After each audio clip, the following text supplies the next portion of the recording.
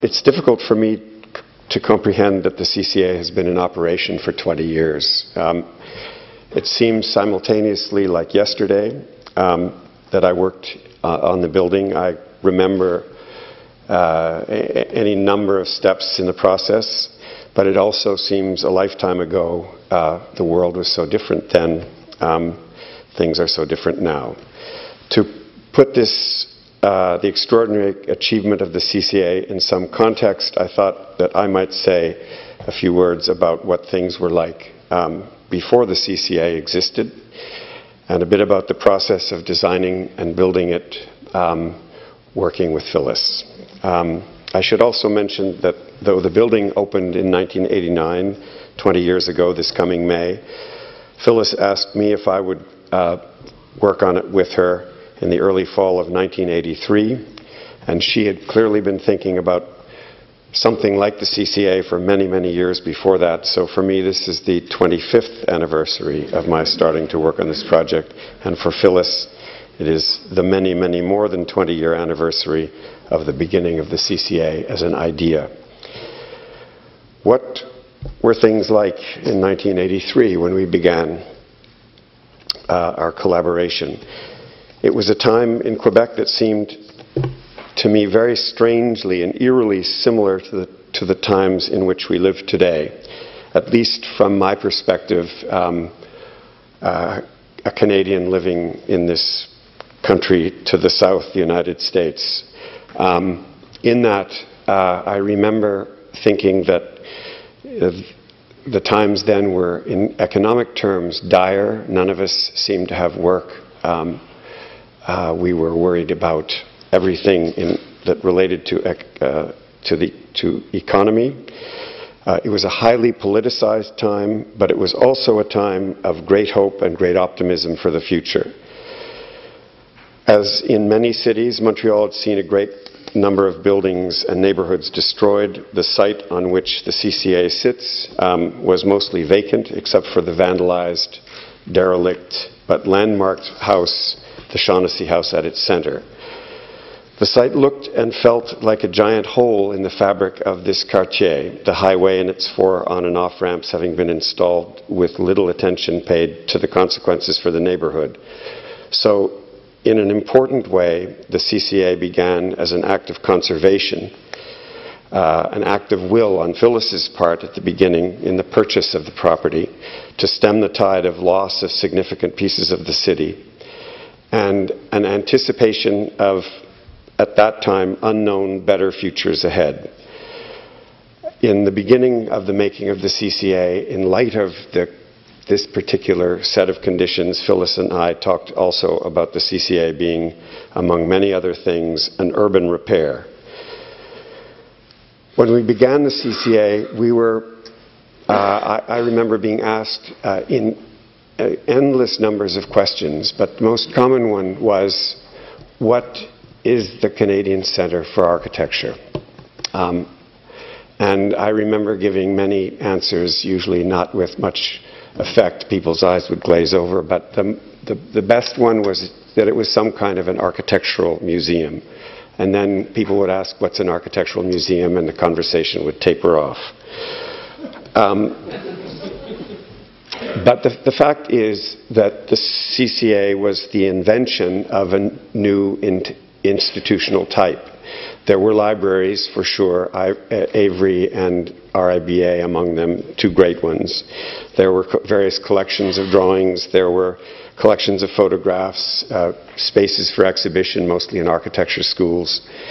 Um, but, and places of research, for sure. But there was no one place where you could uh, gather these activities and facilities uh, in one institution, strangely because it seems now so important, but there were none. So, in essence, we were in uncharted territory, um, and uh, that was very exciting um, and uh, very um, uh, made things uh, at, from time to time quite difficult. And, and things were constantly changing. For one thing, the program was constantly changing. Uh, when we began the project in 1983, the CCA, if I recall correctly, had a staff of about 30 or 35 people. When the building opened in, in 1989, the staff was about 120.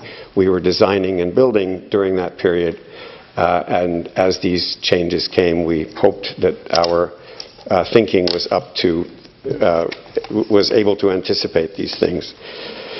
Um, what was it like working with Phyllis? It was certainly demanding. Um, it was exciting, sometimes nervous making, always fascinating. Um, I remember one, one anecdote I thought that I would, I would pass on. Um, uh, we'd done the building but not yet thought about the furniture, began designing furniture, and one of the fundamental pieces of this place um, was this Ah, there's a slide coming that will be perfectly timed. Uh, was was the making of tables. Um, uh, I was a young architect. Furniture was over the, had been over the horizon, though I'd thought about it, looked at furniture a lot, um, and with great uh, a lot of effort, energy, um, research, thinking, I designed a table and built this. In, well, I some people in my office built this fabulous model and I carried it into Phyllis's office. Um, we, uh, we I, I, should say, we met every week, at least, sometimes more than once a, once a week, in my office, in Phyllis's office, on the site.